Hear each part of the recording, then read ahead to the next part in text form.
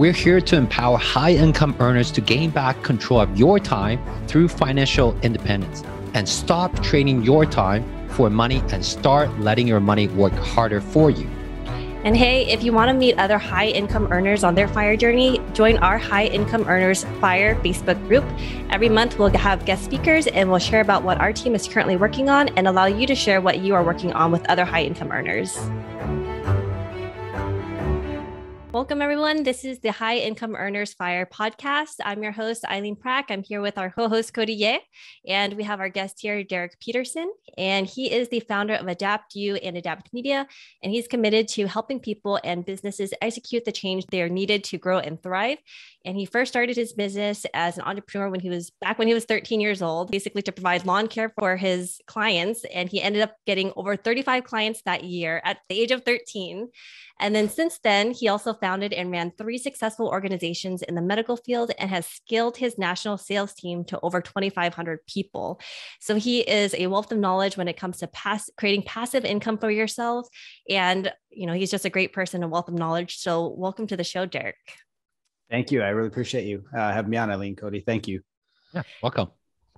So, Derek, let's start off by share with us just a little bit more about your background and then also the three main vehicles that you're utilizing right now to help you get to achieve fire.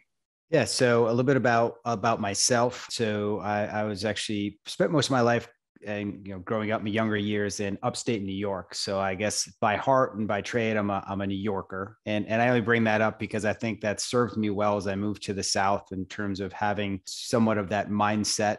Maybe I'm biased, uh, that bit of that New Yorker mindset that gives us you know a little bit of the edge to be able to handle challenging situations that may come up in life but also in business and about six years ago i decided to move south here to warmer weather and i'm in the carolinas and over the years i was a graduate from siena college with a marketing and management degree, which 20, what is that, five years ago, maybe the longer. Gosh, I'm getting old. Was you know marketing and management as it was then. I just took it in college because I was like, everyone said it was easy, right? It was a chip shot. Let's be honest. That's that's why I took it. Really? And wow. Yeah. And then lo and behold, that's actually what I do for a living. So, and the things that were taught to me as marketing and management, then the tools and the systems are not anything like they exist today. I mean, I didn't even have a computer in college. That's how long ago it was. so, so now obviously things have drastically changed as it comes to marketing and management. And over the years, I wore different hats for corporate organizations, working and selling software to selling medical devices. I sold human tissue at one point, uh, devices, staplers used for gastric bypass, weight loss surgery. And the one thing that I found was no matter what the product was, whatever the widget was, I enjoyed the process of marketing it and of building sales systems and getting it out there and seeing the results. So building these systems, selling a product, and then being rewarded for that. And that's always been what I've done for a career. I'm a person who is who's always sold things. Also a firm believer that in nearly every interaction in life, you're either selling something or you're being sold something. Every interaction. I'm selling that, that fact right now. yes. so it's something that after I exited the corporate America days, and decided, hey, you know what? I'm going to strap on my boots and try to do this myself. I went into the medical distribution space, scaled several large teams there because I did that in the corporate world. So kind of knew what I was doing, had some relationships and did real well with that. But then I realized that, you know, I really don't like the medical space, not really want to spend my life. And as I was got older, I realized I wanted to align with something that was a passion for me. So chase my passion versus my pension and well, ideally doing them both, right? So uh, I uh, decided to open a marketing firm. I've always enjoyed marketing. I've always enjoyed everything. Sort of came full circle, didn't it? Right. So from college, thinking it was a, a fluff class, to now I was opening a marketing firm.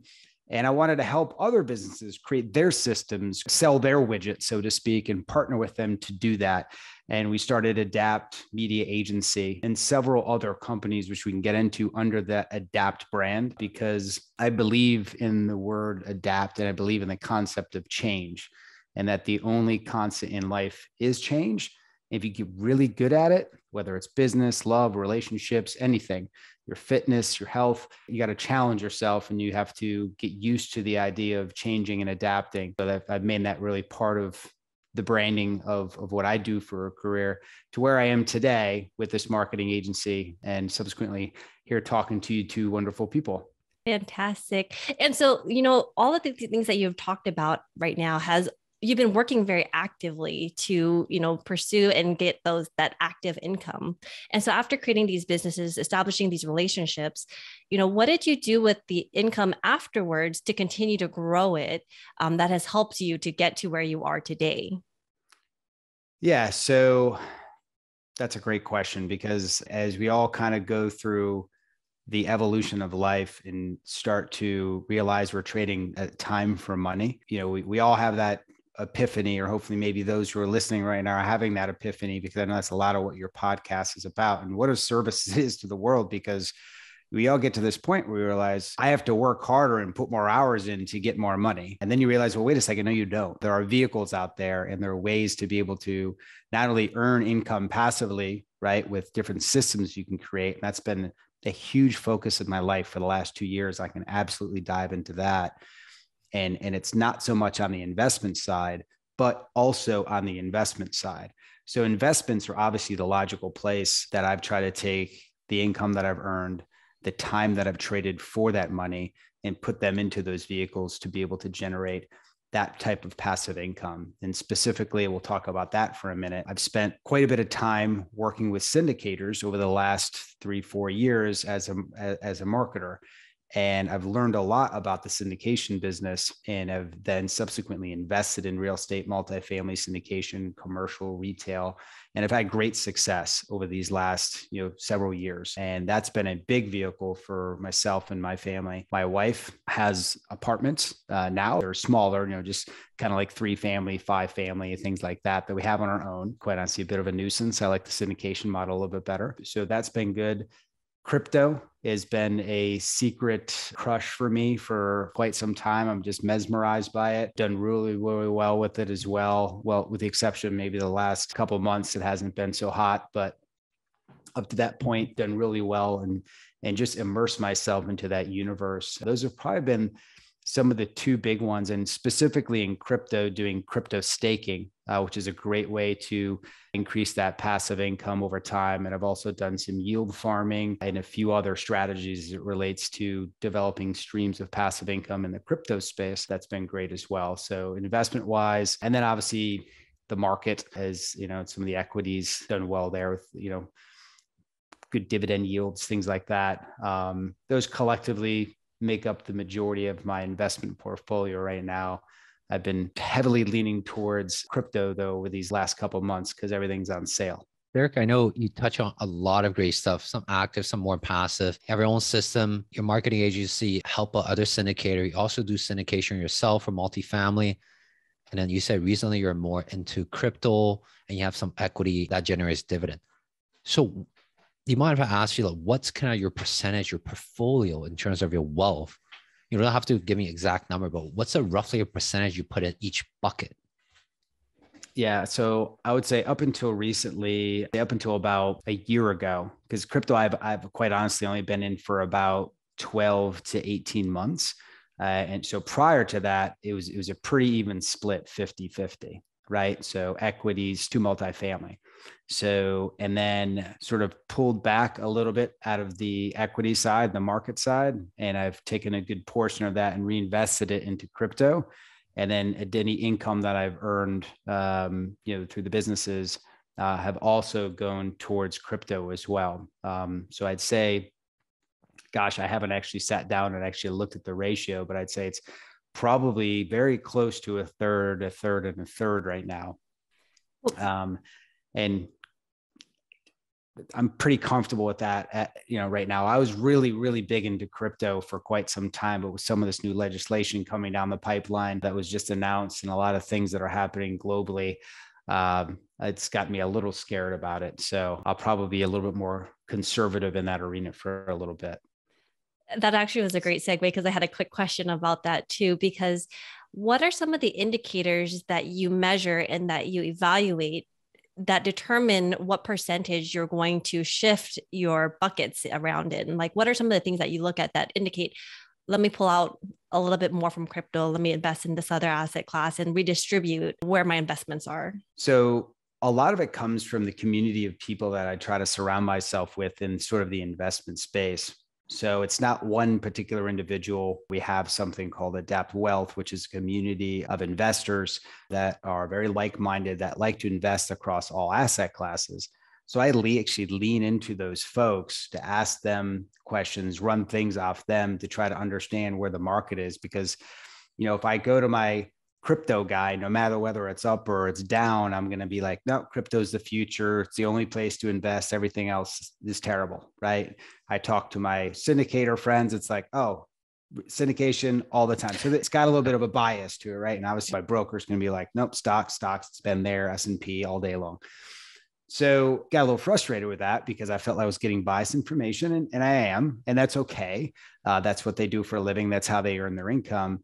So would survey the audience, and you know, depending on uh, people that I trusted in that arena, um, I would sort of uh, shift and pivot, you know, my income accordingly. So for the syndication, I have the, I have a lot of friends in the space.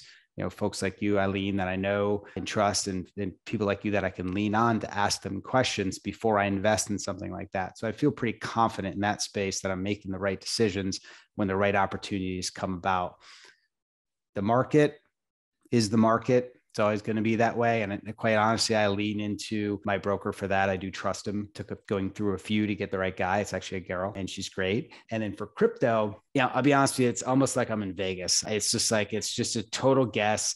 Sometimes it's total gut feel. I've tried to learn a lot of things. I've gotten into ICOs and IGOs and really trying to understand that space. And it's definitely a lot more volatile. It feels a lot more like gambling, but it's fun, you know. So it's it's treated me well so far, and I do feel or have felt before in the past that I wanted to shift a lot more of my wealth into crypto because it's the adoption curve of crypto is so incredibly sharp. It's one of the fastest growing adoptions of a technology ever in the history of the world. In the early stages of that, where a very small percentage of the world is still even involved in crypto and to see the fact that the government's already starting to crack down on things out of call it fear or spite, you know, that they want a piece of that pie, it there must be something good to it. So so that's kind of the a little bit getting inside of my head. I don't know if that really helps at all in terms of trying to understand how I make those decisions, but it's usually by committee, asking a lot of people and then coming up and deriving my own opinion. Yeah, no, totally. Especially when you're getting all these different, it's, it's like almost in a sense like um, information overload, right? It's like, how do you discern from all the different information and the, the bias that they have to each one of those to formulate to get to your own personal individual goal, your own individual need? So for you, as you've been investing and putting everything into passive income and you've also working actively, how did you determine when you reached financial independence? And then also, what does financial independence look like for you? For us, and when I say us, I say my wife and I, for us, financial independence is being able to get to the point where we have enough passive income coming in where we can go live life the way we want to live life right that can be you know different for different people but for us something that we truly enjoy is we really enjoy traveling in fact, one of the businesses we have is a travel agency. And so my wife runs that. And part of the reason why we do it is every time we travel, we can write it off. Uncle Sam, if you're listening, you know, we'll be in Mexico for many weeks coming working up. Really hard. working real hard. Yes. so we'll be working from Mexico and, you know, doing research on Mexico yep. and learning everything about Mexico for yep. our clients. And there's truth to that, but there's also, it's just a tax thing. But we love that. We love different cultures, different foods and with a mar- as a marketing agency, all my employees are remote. So I wanted to be able to get to the point where that business is in someone autopilot. I can go sit with my laptop or iPad, whatever, on the beach with some Wi-Fi signal and be able to manage the business with a different view than the view of the wall that I have right now in front of me. Because I don't ever see myself not doing something, right? I'm not not that person that's going to be sitting on the front porch with my wine and just you know staring off into space i have to be doing something building something it's just who i am. It's how i'm wired. So i want to get to the point where the money that is coming in has allowed me to do the things that i want to do. And i'm very close to that now thankfully at 46 my hope is by 50 it can be in true autopilot and you know it's completely stress free but knowing myself i'll probably pick up some sort of project that'll just cause me you know stress and anxiety because it's uh, at some level I, I enjoy it. It's the juice that kind of keeps you alive you know so. Yeah i think a lot of people when they think about retirement you know uh, they they have a different opinion of what it looks like right? Some people think mm-hmm. about it sitting on the beach with a drink or something like that, sitting on your front porch, you know, just having that leisurely time. You know, I think you can only handle so much of that, right? And and yeah. so after a little bit of time, like I think as humans, you just need to continue to grow. And as you're growing and learning new things, that's what really fuels the fire. It really keeps you, I would say, like, you know, in a sense, quote unquote, young, right? And your mind active and you're interested in learning new things. And so people have a different interpretation of what retirement looks like. And when they get there, it's it might not be exactly what they were expecting. I've seen that from my own parents, you know, that when they retired, my dad was like, Oh, it's gonna be great. I'm gonna grow my hair out. And you know, he was he worked for GE corporate for many years. And after about two weeks, he's like, all right, I'm bored. This stinks. I don't want to do this anymore. And I think also they work so hard and they're like, I'm going to be happy when I retire. Right. So they go through like so many years of like suck, right? Of the job that they don't like so that they can get to that point to where maybe they can enjoy their life. And that to me didn't sound like a really cool plan. So I, I'd rather do something that I like and slowly be able to get it to a point where I'm working on my own terms, doing the types of things that I want to do, but I'm still working, but I'm able to do it from anywhere in the world because, you know, to me that that's living, that's retirement. That's and to be able to do it when I'm not old and gray and I can actually enjoy it. Everything I do is to live that lifestyle and work within that lifestyle because I don't think I'll ever stop working because you're right, Eileen. It's about growth. I'm going to jump in a little bit here, Derek. So you say you're 46 right now and your goal is 50. So that's say if we jump forward to that day right now, what would that day look like to you? When I hit 50, October 17th, 2026. My hope is, is to wake up that morning in some country that is not here, in some Airbnb that we've rented for a month, do a FaceTime with my kids to check in with them to see, you know, how things are going, get a workout in, meditate, and then maybe do a little bit of work around something that's more philanthropic, that's more about giving back than trying to fill my pockets to be able to enjoy what I'm just describing right now. This sounds really nice, by the way. I'm glad you asked me this. then have a fantastic lunch with my my wife, walk on the beach, walk through the town wherever we are. Probably a nap. You know, I'll be 50, so like I feel like um, napping is the thing when you get Very realistic.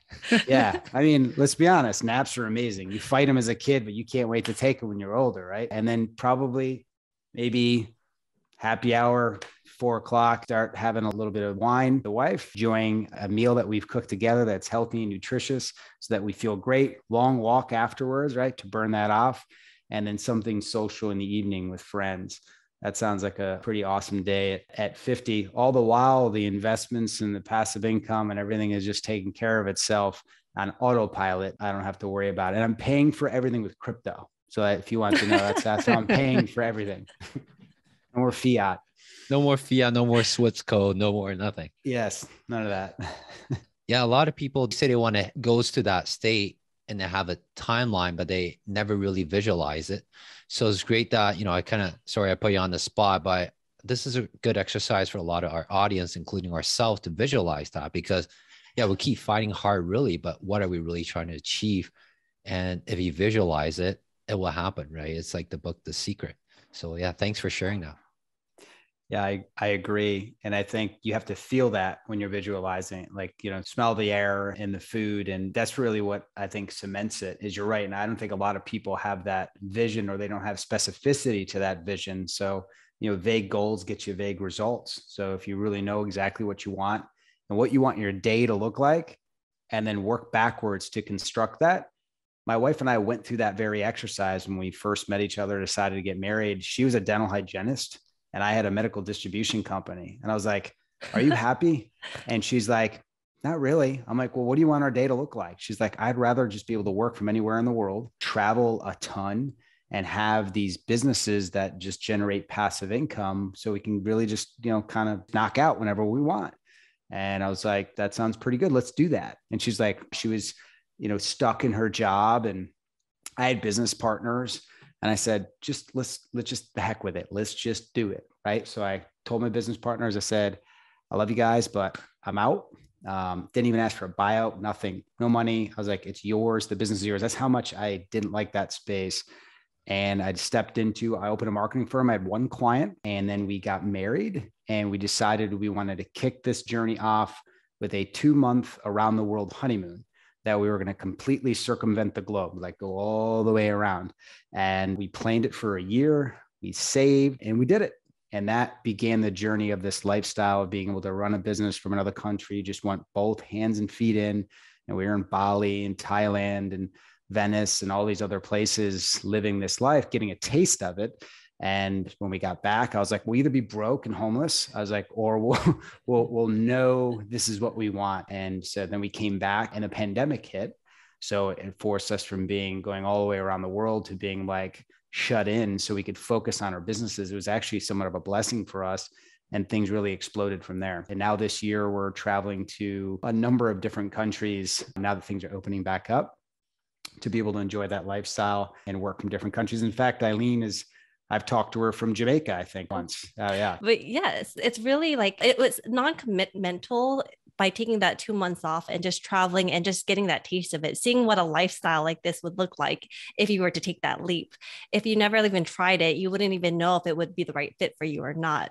And so by, you know, just that little taste, it really really defined and helped you visualize how your future life is going to look like and what are the steps I need to do to get there and then you know making it happen yeah it was kind of a bold move something that is when I went away I actually had I ended up having three clients when we left and then one fired me while I was gone. So, you know, because I, I, still didn't really know what I was doing as a marketing firm. We were so small. We built like two websites or something like that at this point know, now we've built like close to 500. So it's, you know, a lot has happened over that time, but man, it was scary, you know, but if you, sometimes you just need to jump and just kind of grow your wings on the way down, right? And just, just hope you land on your feet. That's what we did. So, but it gave us a real good taste and also made us realize the importance of building our businesses that will deliver you passive income, not only the investing side, but like build systems that just passively bring money to your mailbox. So that became a huge focus uh, for us was was making that a big part of our plan so we can go enjoy these things while we're still earning. So Eileen, do you, do you want to introduce uh, Derek to our, our famous lightning round? Yes. Are you ready, Derek? I am. I'm ready. I actually, I think I'm ready, but I'm not. I'm nervous. Let's do this though. do you need a little here? Should I hand you a napkin? I should. I just, I need a towel. All right. So, number one, if you became a billionaire tomorrow, what would your day look like? Oh, wow. I think it would look exactly like I just described earlier. I think that's how it would look. So, it would be just filled with, you know, things that help me and those around me grow and really be more focused on spending time with people that I think we sacrifice when we're working so hard. Billionaire mindset already reaching fire in four years. That's right. Four more years. and then the second question will be if we have to start all over again, which sounds like you kind of partially did two years ago before COVID hit, but if you have to start all over again with 500K this time, because this is what a lot of our high income earners audience kind of save up in their bank and they're like, there what should i do? Should i go into equity for stock should i go into crypto? Should i do real estate? Should i buy gold? Should i do this do that? But if you start all over with half a million dollar usd what would you do right now with that money? Okay so one i would i would go on a trip with with my loved ones to decide what we're going to do with that half million because I think you need to kind of get out of your element a little bit and start to visualize. I'm a dreamer, so dream and think about what you're going to do. But for me personally, when I look at all these different investment opportunities that are out there at the, at the age that I am right now, I actually would invest it in a business that I would be involved in. To be quite honest with you, I would invest it in something that I feel I would have a little bit more control over. Um, because while I've done great with a lot of investments, I've lost my myself pretty good on a few investments as well. And if I'm going to look myself in the mirror, if someone's going to hand me 500K and to give me the best opportunity to at least when it comes down to accountability, I can look in the mirror and be like, well, you either did something good with it or, or you didn't. So I would invest it in a business that I felt was something that was at the core I loved and enjoyed. And I would try to turn that 500,000 and, you know, 10, 15x that over a period of time, have that money really start working for me. That's quite honestly what I would do with it right now. And if you were a podcast host and you could interview anybody in the world, who would you want to interview the most? Actually, I'm a podcast host. Um, well, that's yes, that's question. true. I've that is true. That. uh, I could interview anybody in the world. So I'm a huge Apple guy. So I'd actually have to say it can be, does he have to be alive? It would be Steve Jobs if we're talking about people that aren't aren't alive. So I don't know if I answered that question correctly, but if anyone in the world, in the history of the world, I'd say Steve Jobs. Okay. So I know Eileen, when we start this podcast, we have a goal. Again, we visualize and say, very soon we're going to monetize this and kind of turn this into kind of like a profit business, but at the same time, endowment as well that could start supporting a lot of local uh, charities or, or charities that we think is very important. So, what are some of the charities that you would donate to or you're looking at part of your fire journey? Great question. So for me, I actually have a couple of buddies of mine who have a non-for-profit that's called Give Sight Global. And it's a nonprofit. So basically what, what their business is, is they actually provide financial services and investing services to doctors. And they just work with doctors, but then they have a, a not-for-profit called Give Sight Global. And what they do is they actually, they, they've done some amazing stuff, but they raise money to be able to go perform eye surgery on those who blind in some of these underdeveloped countries. And it takes like it's like a $30 surgery. For it's basically like a cataract surgery mm. for a lot of people from babies to you know people that are in their 90s to be able to restore sight back to them. And it's so inexpensive. And there's a, a millions and millions of people that are impacted by this that a $30 surgery could give them sight back which you know is such a powerful tool and a powerful thing to do for for humanity. Um, you know, I, I, love these guys. I love their passion. I love their vision. It's Justin Abity and, and Reed Lancaster, the names of the two guys that are at the helm for this. And I would give to that because I know it's going in the hands of people that I can trust. I've seen the results, and I believe that they are truly on a mission to do something good there. So that that that would be that's where I give now. So that's where I'd continue to. And there's Give so many others. Global. Yeah. Give, Give Sight, Global. Global. Let's go. Yep. Awesome. Well, Derek, thank you so much for coming on the show and sharing all about you and your financial financial freedom journey. And for our listeners out there who are interested in, you know, learning more about you, where's the best place that they can go? So you can contact me at adaptmediaagency.com. And that's just uh, that's our marketing firm. So everything marketing, it's a great way to just reach out to me, get in contact with me for, you know, whatever reason that may be. And then we have two other companies that are focused on health and wealth, and that's Adapt Wealth, which is adaptmywealth.com. It's great community just trying to help like minded investors across all asset classes just learn a little bit about all things investing uh, and get access to investment opportunities as a group. And then Adapt My Health is adaptmyhealth.com that's just it's another place to get in contact with me. You notice it's adapts at the beginning of every single one of these. Adapt My Health is all about helping people challenge the way they approach their health in a natural way. So a natural approach to health and wellness and really trying to get people back to the way we're designed as human beings to be healthy. So those are some great spaces to get in contact with me and I would love to hear from anybody. Fantastic. Thank you so much, Derek. No, thank you. I appreciate the opportunity pleasure talking with you. Share a lot of fire ideas in terms of investment, in terms of active income, in terms of charities that you really look up to. And um, it's truly honored to have you on the show. And uh, it's nice to meet you again. I'm sure a lot of audience found great values out of it. Thank you so much again for having me on. I really appreciate it. All the links mentioned in this episode are included in the show notes. And if you love this episode, please leave us a rating and review on Apple iTunes. The link is also included in the show notes. And we would really appreciate your help in spreading the word to more high income earners on how they too can maximize both their time and money. Also, if you still haven't joined our High Income Earners Facebook group, you are missing out on High Income Earners community where we help each other reach our own version of fire.